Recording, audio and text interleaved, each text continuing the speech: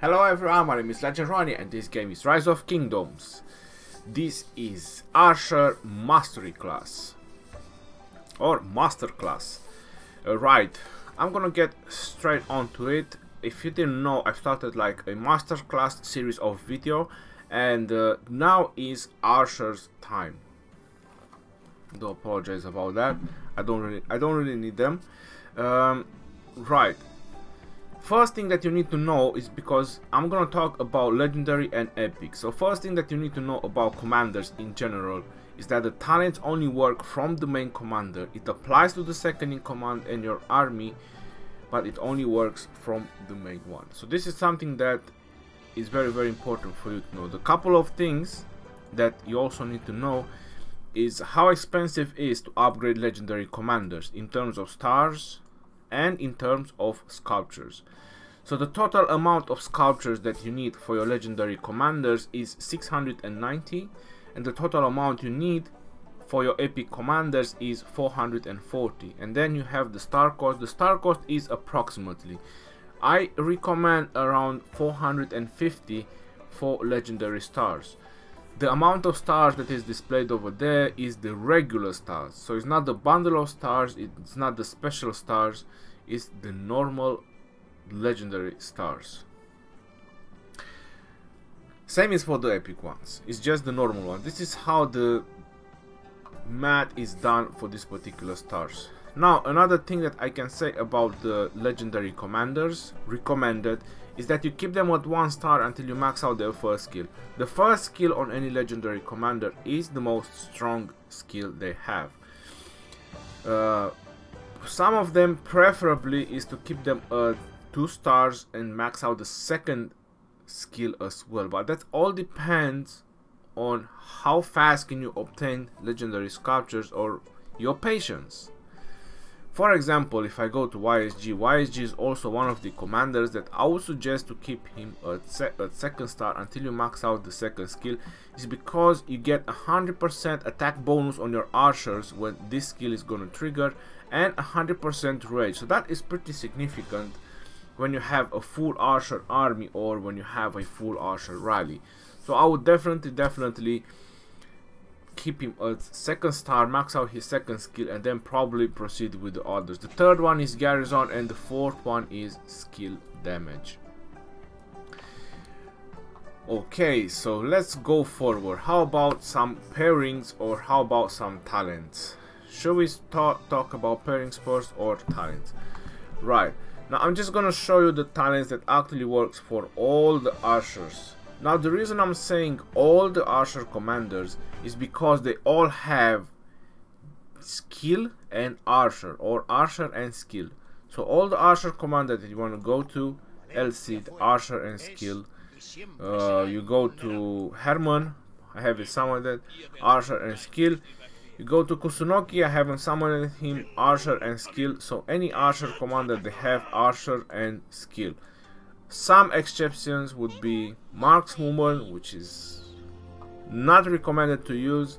Her skill are very very low, so I wouldn't advise you to use or invest in Markswoman.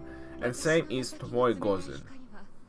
She has Archer and attack, but I don't advise you to use her, especially not as main commander. The reason why is because reduce the current tar target's damage, and I think it's this one.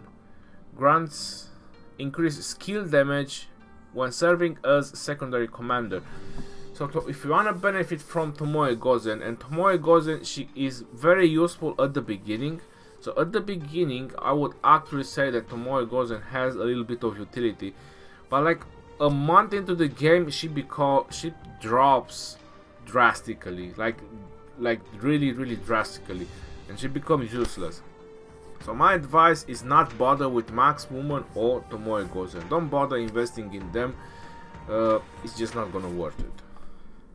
So that's why any archer commander that there is out there that is worth investing in, they have archer and skill. So let me just pop in the talent.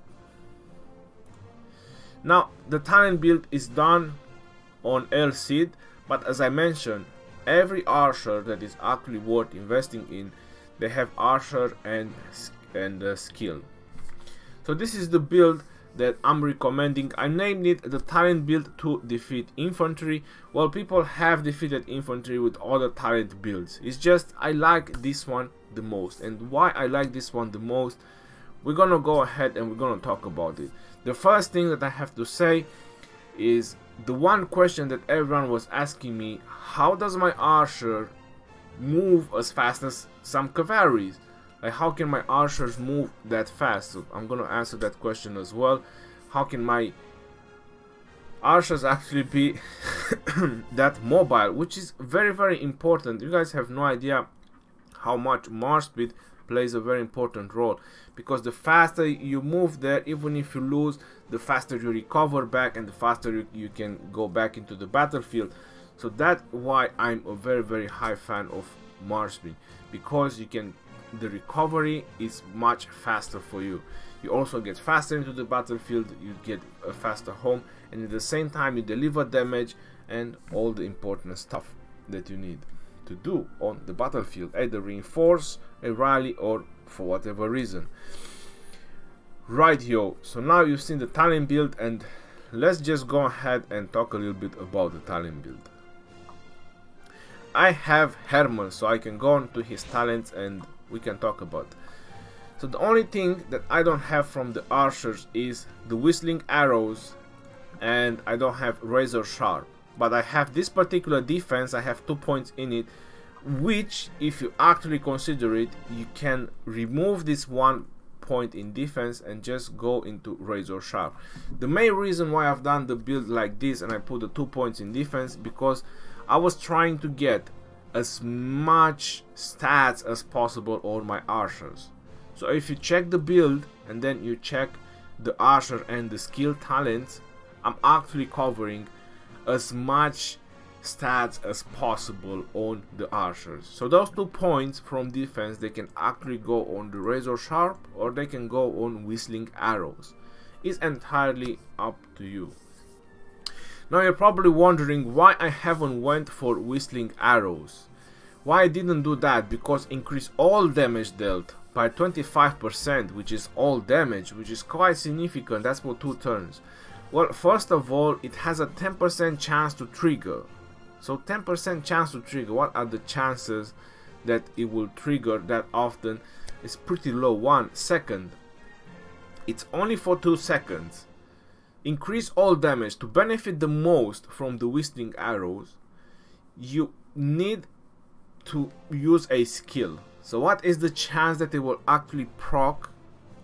And then it will actually proc uh, when it's you're casting a skill. So you can actually benefit from the all damage. Because if you're not gonna cast a skill the all damage it's pretty irrelevant.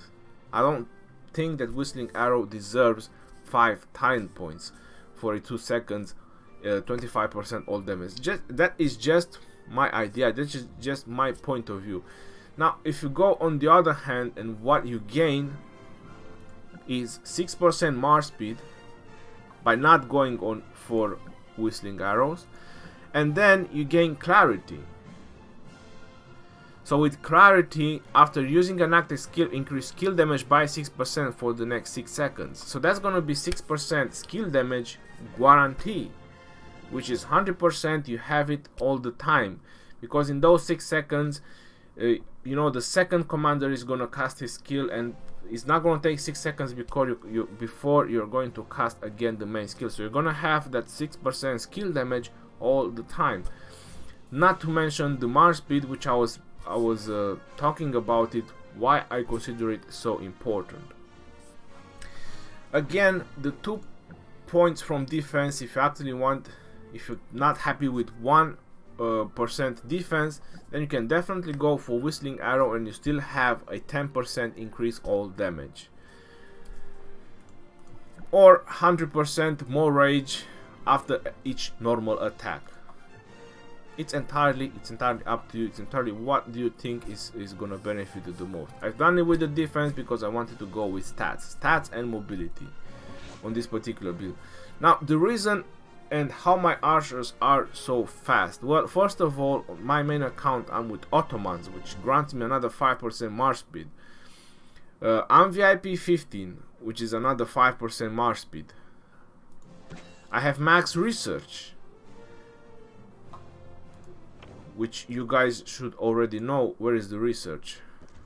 It's over here. This is the academy. Let's go into the war, which you guys should know that maxing out the cartography, which the last point gives you 5% march speed. So in order to max out the cartography, you need to max out combat tactics defensive formation and herbal medicine so I had uh, that as well and then if you go into the commanders if you go to Hermann Hermann also grants 10% march speed. That's why he's very nice commander 10% march speed. And then if you go to the El Cid he also grants 15% march speed because I had El Cid maxed out. So there you go. These two commanders 25% march speed with that talent build which is basically most of the march speed that you can get.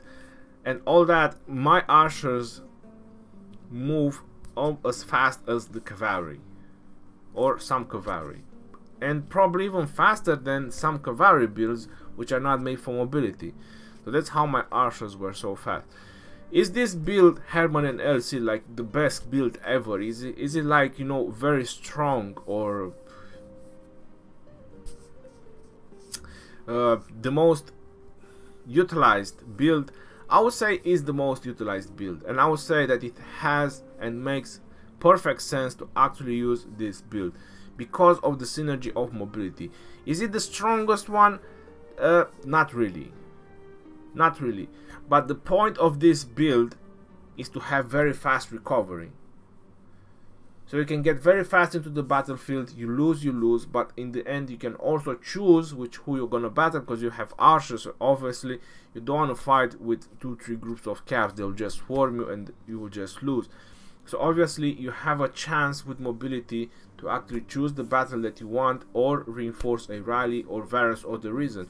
And if you lose, the troops will gonna go very fast to your city and then you can uh, attack again uh, very fast because you have the mobility. So this is why I'm, I'm very fan of mobility when it comes to my builds. This is why I'm always focusing so much on trying to make the most utility of the talent builds delivering damage in the same time while having a lot of mobility. I just find it very very important in most of the situations. Obviously the best archer uh, pair is YSG with El Cid. They are the only two legendaries. But are they actually the best ones? Well, it's debatable. The reason I'm saying is debatable is uh, because I have already tested them. Since on my main account YSG was maxed out, El Cid was, was maxed out. And I tested with Hermann. And in my opinion, my personal opinion, I found that Hermann with YSG has done a much better job in 1 versus 1. Now that was just 1 versus 1 again. 1 versus 1 is not the proper test of what a build can do or uh, if a build is actually good. There are situations and situations when builds perform much better uh, than uh, actually 1 versus 1. 1 versus 1 is just something to have an idea about your build. For example, one of my builds that I actually use, which is my second Archer build, is Julius Caesar, main commander, with YSG a second in command. In 1 versus 1, this build is not good. So in 1 versus 1, I lost against infantry very very terrible. The reason why is because this build is is for AoE. So the way Julius Caesar as main commander with YSG as second in command and full archers, this is a build made for made for AoE. AoE is area of effect, group damage. The build for Julius Caesar, I'm gonna show it when I'm gonna do the masterclass video for leadership commanders. Or if you wanna call it mixture of troops, which others said, but I'll just call it uh, leadership commanders. So then, then, then is when I'm gonna show the build for Julius Caesar. So yeah, Julius Caesar and YSG is also a very good archer build that actually works. The reason why is because Julius Caesar with his main skill, it says over here, increase all damage by 30%. So by all damage, it also means the skill damage. So the skill damage from YSG is being boosted by another 30%. So there you go. It also increases attack and defense of the troops, which also uh, attack, you know, boost a little bit the nuke as well. So there you go. There is only benefits why Julius Caesar as main commander and uh, YSG as second in command is a good archer build. On the other hand, you can bring a lot more troops into the battlefield, which is 15%, and with the talent, 18% more troops on the battlefield. So you go with approximately 340k archers. So in either situation, if you get swarmed, you have like 340k archers if Julius Caesar is level 60. And you're definitely gonna wreak some havoc with your YSG having a lot of AoE damage. now, that was about legendary. So that's uh, the build that i would recommend for uh, for archer. So you can go El Cid uh, with YSG you can go Hermann with YSG you can go Julius Caesar with YSG you can go YSG with someone else if that you choose. But whenever you use Julius in a build Julius always has to be the main commander. That is like the main thing about Julius. If you use him as a second in command you're not benefiting as much from his main skill. So oh, that's that's why Julius is a proper leadership. He's a proper leader commander. He needs to be the first. right, now let's talk about some epic builds. How about that? Because we have Hermann. We already talked about the legendary ones, but probably some of you want to know a couple of epic builds. Some of you are free to play. Now before I'm gonna get there, I have to mention that archers should never be your priority to focus on in terms of research and in terms of commanders. Unfortunately, is this is the truth. The reason why is because too many people focus on cavalry at the beginning and Minamoto, which is a very powerful nuker and cheap, you know, relatively cheap compared to uh, let's say the average spending on the game. So it's a very cheap uh, legendary commander. And for that reason your archers can get very easy terrorized. It doesn't matter how much you invest in them. So this is one of the reasons why archers should never be your main focus in the game. Uh, if you actually want to do that on your own choice Hermann is a very very good choice. Now the only second epic Archer Commander is Kusunoki.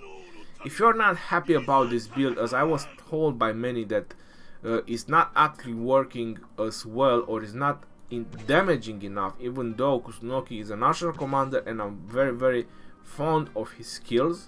He has some very very good skills, especially for Garrison Commander. I recommend Kusunoki. You can go with Osman.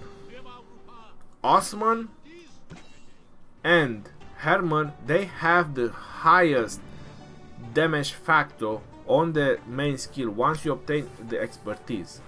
So Hermann and Osman. So you can definitely go with just archers, Hermann and Osman. Not to mention that you'll also be able to bring more archers into the battlefield if Osman is second in command. So there's nothing wrong with that particular build. Hermann and Osman. Hermann first, Osman second in command and you can have a very powerful nuking archer setup. Then another option for your Hermann is gonna be Boudica for the main reason. Very powerful nuke once you obtain the expertise, 100 damage factor, and then reduce the target's rage by 100. And it's the same thing that Hermann does as well. Rage reduction of the target up to 100.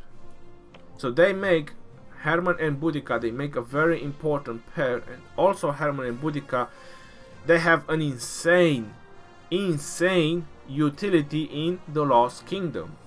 The reason why is because when you want to capture the objectives, they are very very strong and you need to reduce their rage as much as possible. So Hermann and Boudica, they actually play a much important role in the game or in Lost Kingdom then you can think about it so this is another build you can also work for your archers as free to play is Hermann and Boudica. Not to mention the force clear from Boudica whenever it goes in WTF to that it's a lot of damage for your archers. So yeah there you go.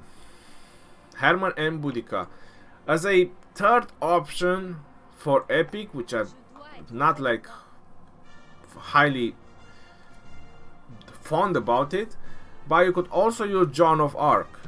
The reason why is because the normal attack is increased you know passive by 25% and then you have her main skill. Once you obtain his expertise is gonna last for 4 seconds which is pretty significant 4 seconds and increase the archer's attack bonus by 30% it also does like buff so it, it buffs your troops around you. So if you have cavalry and infantry around you and does some rage restoration but it's particularly for archers is 30% attack. So if you have a full archer army you know Hermann and Joan can actually actually be really good.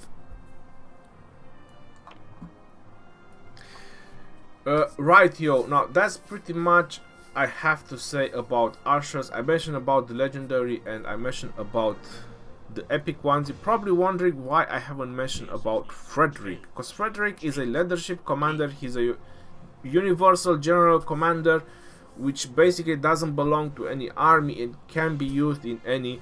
It is true it is true i'm just not so fond about frederick. You can definitely use him if you have him or if you max him out and i recommend to use him with archers.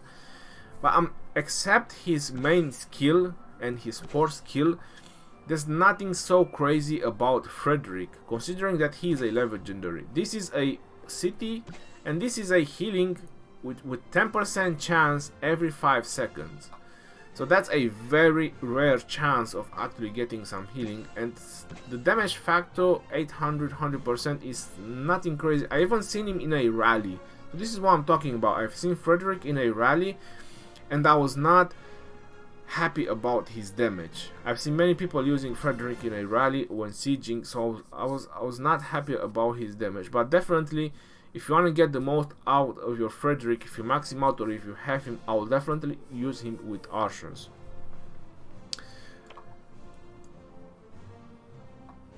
Mehmed is also a, a no leadership general commander. He would also be very very good with archers. So also I would only use him with archers because he has skill damage, he has attack bonus, he has uh, a lot of uh, nuking on his main skill once he obtains his expertise. So it's also a commander that I will try to group him as much as possible with archers.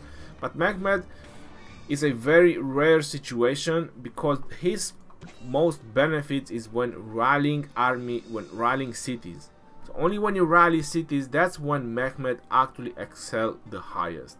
That's that's the time what I would only use Mehmed and I would actually use him as a second in command. Well, I believe that's pretty much I have to say about archers. And uh, again, just for the ending, I'm gonna show the talent build again. So you see the two the two yellow points from the skill pad. That those are the two yellow points that you can, if you actually want, you can go on the whistling arrows. If that was the name, let, let me just make sure. I'm not spelling it wrong. Yeah, Whistling Arrows. So if you actually want, those two points can go on the Whistling Arrows. This would be like the only small modification I would do to this talent build. Until next time, this is your boy Legend Rhony signing out. And I hope you do guys find this mastery class or master master guides um, really helpful. Peace out yo and take care. See you guys on the next one.